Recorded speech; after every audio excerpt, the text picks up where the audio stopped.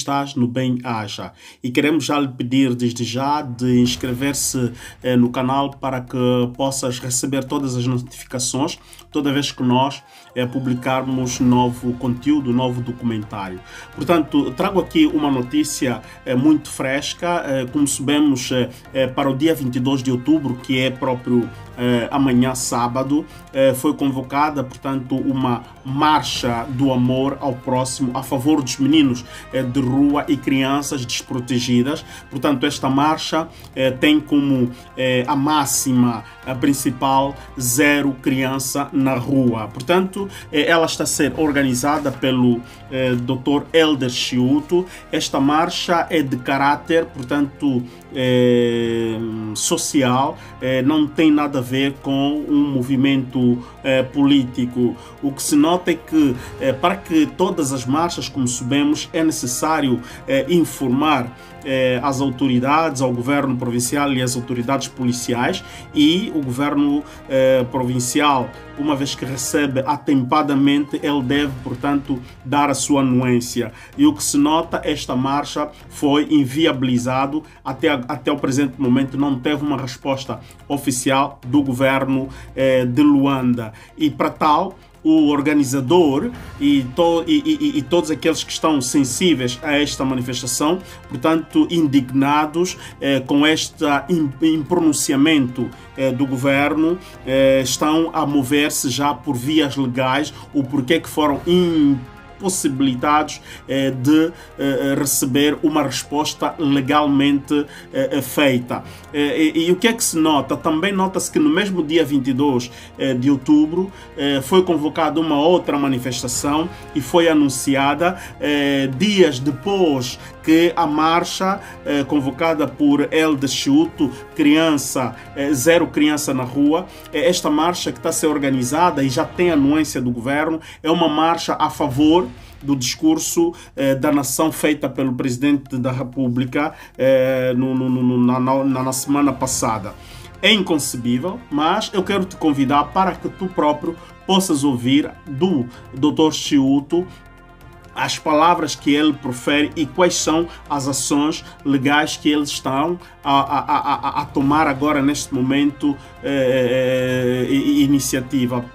Por nós é que o governo ou o governador Manuel Homem está a ser insensível ou foi insensível pela causa das crianças e isto é preocupante e começamos a nos perguntar que governo teremos em Luanda, que, gover que governador temos em Luanda, um que não é, é sensível à, à, à problemática é, de facto social, ao, à, à, à indigência é, da população desta cidade e preocupa-se mais com questões de discursos que são meramente questões intangíveis, questões meramente políticas e questões abstratas. Em questões concretas não se responde, mas em questões abstratas se responde. Bom, escutem então esta estas palavras de Dr. Chilto. Rádio Espiritar e a todos os ouvintes que nesse instante nos estão a acompanhar. Doutor, eh, uma pergunta direta. Amanhã haverá mesmo marcha? Estamos informados de que o MPLA vai realizar uma, uma atividade com vista a hum, enaltecer o seu o líder. O que é que tem a dizer relativamente no mesmo local, à mesma hora? E com as mesmas indumentárias? Bem, eh, primeiro manifestar uh, a nossa indignação pela forma de como eh, está-se a arranjar mecanismo de obstruir a não realização desta marcha de manhã. Uhum. Nós já arquitetamos há 15 dias e esta semana foi a semana derradeira em que começamos a fazer a mobilização de todos os angolanos de bem, patriotas, porque esta marcha não é político-partidária, mas é uma marcha de cariz essencialmente social.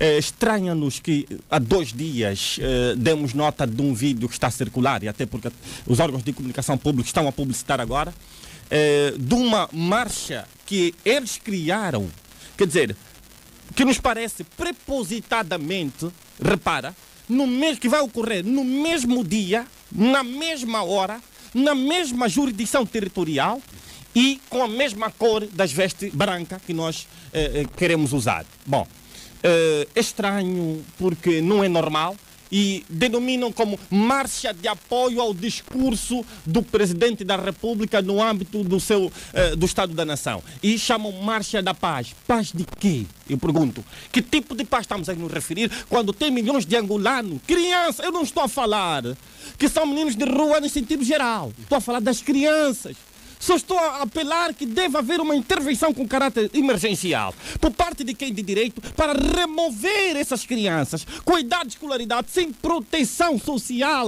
eh, nenhuma e que, por primazia do direito, nos termos da Constituição da República de Angola, gozam de prioridade absoluta de protecionismo institucional da família, do Estado e da própria sociedade.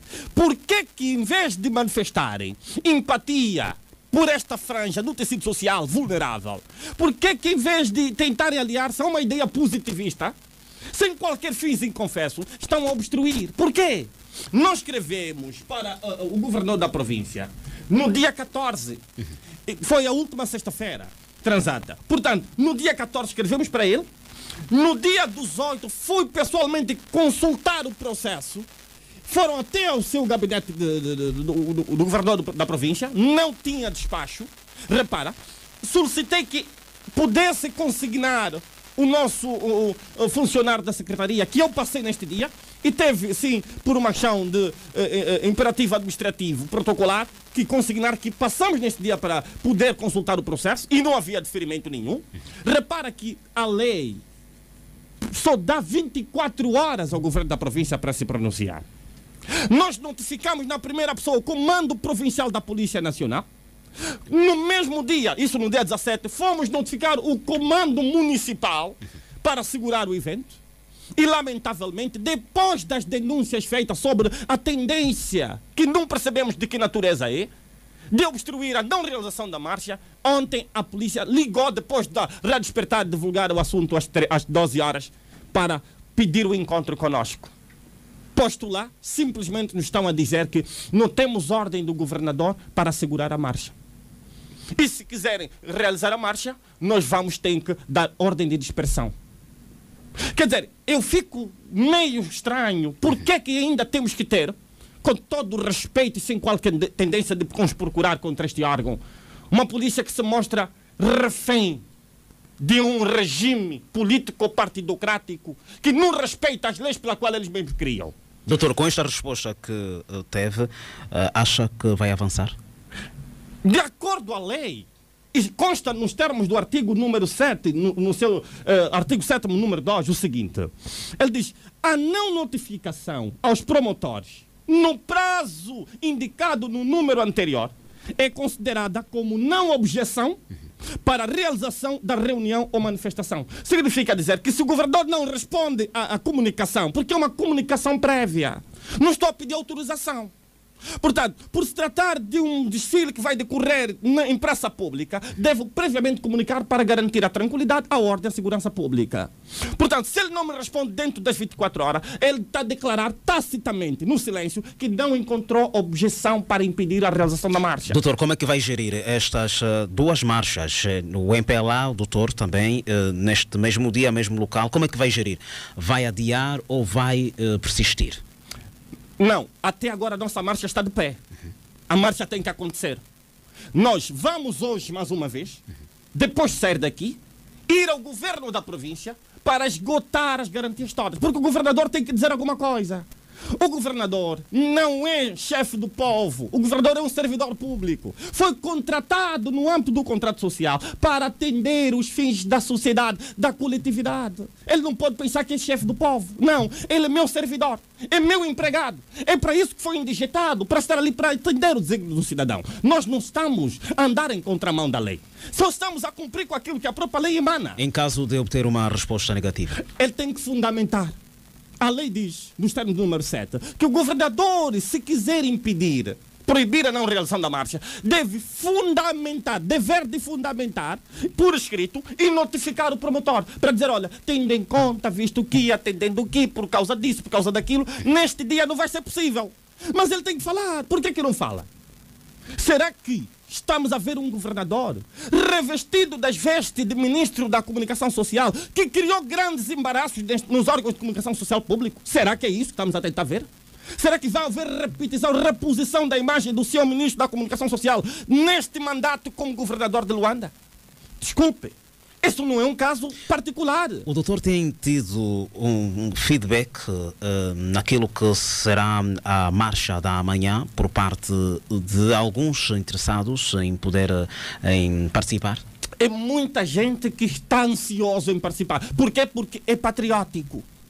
Aqui o fim, o fim único, por não ser de âmbito político partidário, porque não há live nenhum, não há incentivo de nenhum partido sequer. É no âmbito do ativismo social e porque sempre respondemos com essa qualidade de embaixador do povo, desde o programa Angola Urgente TV Palanca. Portanto, o povo se revê e o povo gosta dessas ações de ativismo social. Elder Schultz estava emprestado à política no âmbito do, do, processo eleitoral, pela Casa Sem, enquanto cabeça de lista para uh, uh, as eleições. Mas Elder Schultz não é um político de excelência, é um ativista inato. E é com essa qualidade que ele está exercendo o direito de cidadania.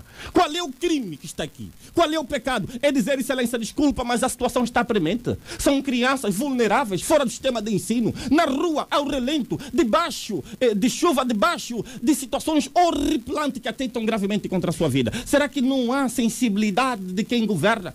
Será que não há um pouco de empatia, de, não há um pouco de, de sentimento para expressar junto desse, desse, desse, pessoal. Doutor, qual a análise que pode fazer numa, numa altura em que uh, os nossos uh, irmãos cubanos uh, estão a, a, precisar de ajudas e que, de facto, o governo angolano por intermédio de alguns ministérios, com destaque à comunicação social, está a recolher donativos no sentido de ajudar, portanto, os, aquele, aquele, aquele país que uh, está em crise face, à, à situação que uh, estão a enfrentar. Uh, e, e, nesse exato momento, a sua opinião não seria bom que o governo olhasse nesta questão uh, das crianças desamparadas uh, e, e, esta iniciativa uh, tem demonstrado um certo, uma certa inquietação na sua consciência, um certo peso na sua consciência numa altura em que as crianças precisam. constatamos também, por intermédio das redes sociais, o doutor a, a partilhar com as crianças que acorrem aos contentores eh, à, procura de eh, alimentos naqueles locais. uma análise profunda relativamente a esta realidade. Uh, a minha luta intransigente relativamente à, a promoção da dignidade social das, dos menores, ao respeito ao capital humano, à defesa da justiça social, é antiga, não é de hoje. É só lembrar que na altura que Deus o tenha, o ex-governador Luther, Luther Raskov, agora malogrado, por causa das nossas denúncias, saiu ele pessoalmente para a rua e começou a recolher algumas crianças. Lamentavelmente, ele foi transferido para o IS. Lamentavelmente. E não conseguiu cumprir na íntegra esta missão. Repara, não seria mal nenhum se estivéssemos bem, a casa organizada, e quiséssemos ajudar os nossos irmãos estrangeiros. Uhum. Não seria mal nenhum até porque faz parte, dentro do princípio da diplomacia internacional, o princípio da cooperatividade entre os Estados. Mas não é, não é sensato, e como dizia Jesus Cristo para faz, fra, frasear, pegar-se o pão dos filhos e dar ao estrangeiro não é um ato de xenofobia. Quando a mulher veio pedir ajuda, ele disse: mulher, não é lícito pegar o pão dos filhos e dar ao estrangeiro. Ele disse: sim, senhor, tem razão. Mas eu não estou a pedir o pão, eu estou a pedir somente as migalhas que caem da mesa do dono do cão. Será que não tem pelo menos direito de comer as migalhas? Porque ela se sentia confortável em comer as migalhas e receber a cura da filha. Portanto, por que, que nós damos as migalhas aos nossos filhos e damos o pão aos nossos irmãos lá fora? Está a perceber? A minha questão é: como é que está-se a prestar solidariedade a Cuba? Que não seria mal nenhum se tivéssemos a casa organizada.